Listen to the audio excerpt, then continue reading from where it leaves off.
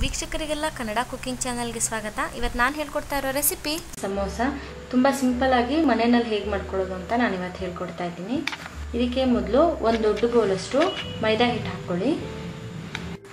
ಇದಕ್ಕೆ ಇವಾಗ ಅರ್ಧ ಸ್ಪೂನಷ್ಟು ಉಪ್ಪು ಹಾಕ್ಕೊಳ್ಳಿ. ಸ್ಟಫಿಂಗಲ್ಲಿ ಉಪ್ಪು ಹಾಕ್ತೀವಿ. ಸೊ ಇದಕ್ಕೆ ಸ್ವಲ್ಪ ನೋಡ್ಬಿಟ್ಟು ಹಾಕ್ಕೋಬೇಕು. ಈ ಹಿಟ್ಟಿಗೆ ಇವಾಗ ಮೂರುವರೆಯಿಂದ ನಾಲ್ಕು ಟೇಬಲ್ ಸ್ಪೂನಷ್ಟು ಎಣ್ಣೆ ಹಾಕ್ಕೋಬೇಕು. ಇದೇ ಎಣ್ಣೆ ನಿಮಗೆ ಹೊರಗಡೆ ಲೇಯರ್ ಇದೆಯಲ್ಲ, ಅದನ್ನು ತುಂಬ ಕ್ರಿಸ್ಪಿಯಾಗಿ ಮತ್ತು ಸಾಫ್ಟಾಗಿ ಮಾಡೋದು. ಇದಿಷ್ಟು ಫಸ್ಟು ಎಣ್ಣೆ ಜೊತೆ ಮಿಕ್ಸ್ ಮಾಡ್ಕೊಳ್ಳಿ.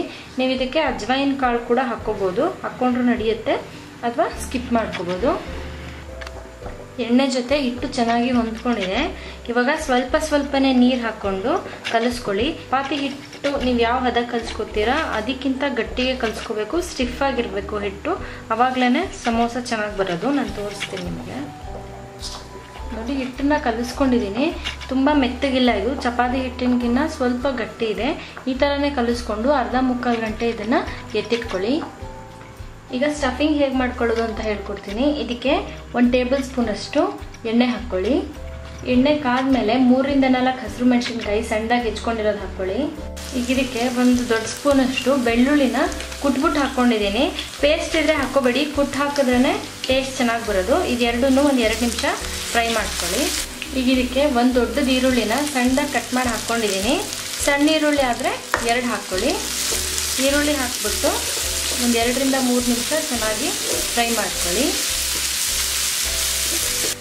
ಈಗ ಇದಕ್ಕೆ ನಾನು ಆಲಿಗಡ್ಡೆ ಬೇಯಿಸ್ಬಿಟ್ಟು ಸ್ಮ್ಯಾಶ್ ಮಾಡಿ ಇಟ್ಕೊಂಡಿದ್ದೀನಿ. ನಾನು ಮೂರರಿಂದ ನಾಲ್ಕು ಆಲೂಗೆಡ್ಡೆ ತೊಗೊಂಡಿದ್ದೀನಿ ದೊಡ್ಡ ಸೈಜಿಂದು. ಅದನ್ನು ಹಾಕ್ಕೊಳ್ಳಿ. ಇದಕ್ಕೀಗ ಕಾಲು ಸ್ಪೂನಷ್ಟು ಅರಿಶಿಣದ ಪುಡಿ, ಒಂದು ಮುಕ್ಕಾಲು ಸ್ಪೂನಷ್ಟು ಖಾರದ ಪುಡಿ, ಹಸಿರು ಮೆಣಸಿನ್ಕಾಯಿ ಹಾಕಿರೋದ್ರಿಂದ ಖಾರದ ಪುಡಿ ನೋಡ್ಬಿಟ್ಟು ಹಾಕ್ಕೊಳ್ಳಿ. ಡ್ರೈ ಮ್ಯಾಂಗೋ ಪೌಡರ್ ಇದೆಯಲ್ಲ, ಅದನ್ನು ಮುಕ್ಕಾಲು ಸ್ಪೂನ್ ಹಾಕ್ಕೊಳ್ಳಿ. ಇದನ್ನು ಸ್ಕಿಪ್ ಮಾಡಬೇಡಿ. ಸ್ಕಿಪ್ ಮಾಡಿದ್ರೆ ನಿಮಗೆ ಚೆನ್ನಾಗಿ ಟೇಸ್ಟ್ ಬರೋದಿಲ್ಲ. ಇದು ಹಾಕಿದ್ರೇ ತುಂಬ ಚೆನ್ನಾಗಿ ಟೇಸ್ಟ್ ಬರೋದು. ಮುಕ್ಕಾಲು ಸ್ಪೂನಷ್ಟು ಚಾಟ್ ಮಸಾಲ ಪುಡಿ ಅರ್ಧ ಸ್ಪೂನಷ್ಟು ಗರಂ ಮಸಾಲ ಪುಡಿ, ರುಚಿಗೆ ನೋಡಿಬಿಟ್ಟು ಉಪ್ಪು ಹಾಕ್ಕೊಳ್ಳಿ. ಇದಕ್ಕೀಗ ಒಂದು ಅರ್ಧ ಕಪ್ಪಷ್ಟು ಬಟಾಣಿ ಹಾಕೋತಾ ಇದ್ದೀನಿ. ನಾನು ಹಸಿ ಬಟಾಣಿ ತೊಗೊಂಡಿದ್ದೀನಿ. ಹಸಿ ಬಟಾಣಿ ಇಲ್ಲ ಅಂತ ಅಂದರೆ ಮಾಮೂಲಿ ಬಟಾಣಿನ ನೆನೆಸ್ಬಿಟ್ಟು, ಬೇಯಿಸ್ಬಿಟ್ಟು ನೀವು ಹಾಕ್ಕೋಬೋದು. ಇದಿಷ್ಟು ಇವಾಗ ಚೆನ್ನಾಗಿ ಮಿಕ್ಸ್ ಮಾಡ್ಕೊಳ್ಳಿ.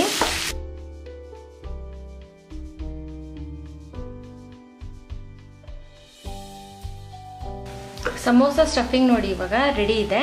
ಈ ಟೈಮಲ್ಲಿ ನೀವು ನೋಡ್ಬಿಟ್ಟು ಉಪ್ಪು, ಖಾರ ಏನಾದರೂ ಹಾಕೋಂಗಿದ್ರೆ ಹಾಕ್ಬಿಟ್ಟು ಮಿಕ್ಸ್ ಮಾಡ್ಕೊಳ್ಳಿ. ಇಲ್ಲ ಸರಿ ಇದ್ರೆ ಇದನ್ನ ಎತ್ತಿಟ್ಕೊಳ್ಳಿ. ಈಗ ಸಮೋಸ ಮಾಡೋದು ಹೇಗೆ ಅಂತ ನಾನು ಹೇಳ್ಕೊಡ್ತೀನಿ. ಇಟ್ಟು ನೋಡಿ, ಎತ್ತಿಟ್ಬಿಟ್ಟು ನಾನು ಮುಕ್ಕಾಲು ಗಂಟೆ ಆಗಿದೆ ಹತ್ತತ್ರ. ಈಗ ಇದನ್ನು ಚೆನ್ನಾಗಿ ಮತ್ತೆ ಇನ್ನೊಂದು ಸತಿ ಒಂದು ಎರಡು ಮೂರು ನಿಮಿಷ ನಾದ್ಕೊಳ್ಳಿ. ಒಂದು ದೊಡ್ಡ ನಿಂಬೆ ಹಣ್ಣಿನ ಗಾತ್ರದ್ದು ಹಿಟ್ಟು ತೊಗೊಂಡಿದ್ದೀನಿ ನಾನು. ನಿಮಗೆ ಇನ್ನೂ ಸ್ವಲ್ಪ ದೊಡ್ಡ ಸಮೋಸ ಬೇಕು ಅಂದರೆ ನೀವು ಇನ್ನೂ ದೊಡ್ಡದು ತೊಗೋಬೋದು. ನಾನು ಇದ್ರ ಮೇಲ್ಗಡೆ ಸ್ವಲ್ಪ ಮೈದಾ ಹಿಟ್ಟು ಹಾಕ್ಕೊಳ್ಳಿ ಮೈದಾ ಹಿಟ್ಟು ಹಾಕೊಂಡಿದ್ದನ್ನ ತೆಳ್ಳಗೆ ಲಟ್ಟಿಸ್ಕೊಳ್ಳಿ.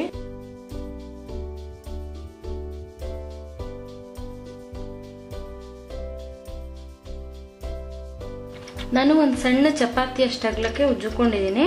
ಇದನ್ನು ಮಧ್ಯದಲ್ಲಿ ಕಟ್ ಮಾಡ್ಕೊಳ್ಳಿ. ಒಂದು ಸೈಡ್ನ ಎತ್ತಿಟ್ಕೊಳ್ಳಿ. ಸೈಡಲ್ಲಿ ಈ ಭಾಗ ನೋಡಿ ಮೇಲ್ಗಡೆ ಇರಬೇಕು. ಈಗ ಇದನ್ನು ಈ ಥರ ಫೋಲ್ಡ್ ಮಾಡ್ಕೊಳ್ಳಿ.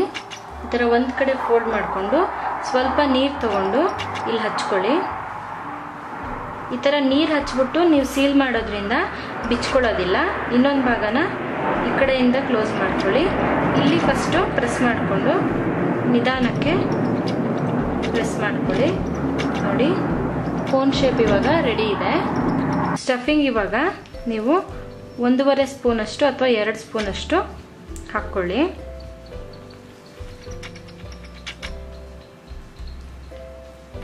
ಇದನ್ನ ಲೈಟಾಗಿ ಪ್ರೆಸ್ ಮಾಡ್ಕೊಳ್ಳಿ ಸ್ವಲ್ಪ.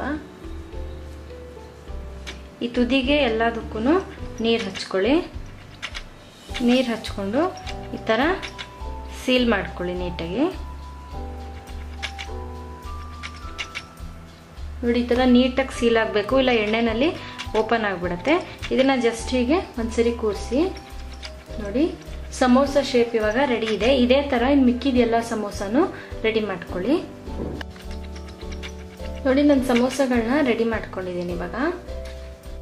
ಗ್ಯಾಸ್ ಫ್ಲೇಮ್ನ ಫುಲ್ ಹೈನಲ್ಲಿ ಇಟ್ಬಿಟ್ಟು, ಎಣ್ಣೆ ಒಂದ್ಸತಿ ಕಾಯಿಸ್ಬಿಟ್ಟು, ಸಮೋಸ ಹಾಕೋದಕ್ಕೆ ಮುಂಚೆ ಗ್ಯಾಸ್ ಫ್ಲೇಮ್ನ ಸಿಮ್ನಲ್ಲಿ ಇಟ್ಬಿಡಿ.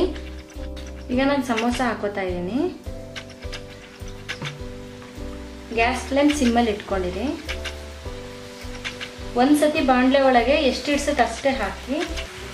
ಇದನ್ನಿವಾಗ ಹತ್ತರಿಂದ ಹದಿನೈದು ನಿಮಿಷ ಫುಲ್ಲು ಲೋ ಫ್ಲೇಮಲ್ಲಿ ಇಟ್ಬಿಟ್ಟು ಕರ್ಕೊಳ್ಳಿ. ಸಮೋಸನ ಯಾವಾಗಲೂ ನೀವು ಲೋ ಫ್ಲೇಮಲ್ಲಿ ಇಟ್ಬಿಟ್ಟೇ ಕರ್ಕೋಬೇಕು. ಹೈ ಫ್ಲೇಮಲ್ಲಿ ಇಟ್ಬಿಟ್ರೆ ಮೇಲ್ಗಡೆ ಬಂದ್ಬಿಡುತ್ತೆ, ಒಳಗಡೆ ಬೆಂದಿರೋದಿಲ್ಲ. ಸೊ ಲೋ ಫ್ಲೇಮಲ್ಲಿ ಇಟ್ಕೊಳ್ಳೋದ್ರಿಂದ ಮೇಲ್ಗಡೆ ಕ್ರಿಸ್ಪಿ ಆಗಿರುತ್ತೆ ಮತ್ತು ಒಳಗಡೆನೂ ಚೆನ್ನಾಗಿ ಬೆಂದಿರುತ್ತೆ. ಇದು ಬೇಯೋದಕ್ಕೆ ಹತ್ತತ್ರ ಹತ್ತು ನಿಮಿಷ ಟೈಮ್ ತೊಗೊಳತ್ತೆ. ಸಮೋಸ ನೋಡಿ, ಇಷ್ಟು ಫ್ರೈ ಆದರೆ ಸಾಕು. ಇದನ್ನ ಎತ್ಬಿಟ್ಟು ಪ್ಲೇಟಲ್ಲಿ ಹಾಕ್ಕೊಳ್ಳಿ. ಇನ್ನು ಮಿಕ್ಕಿದ ಸಮೋಸನೆಲ್ಲನೂ ಇದೇ ಥರನೇ ಕಟ್ಕೊಳ್ಳಿ.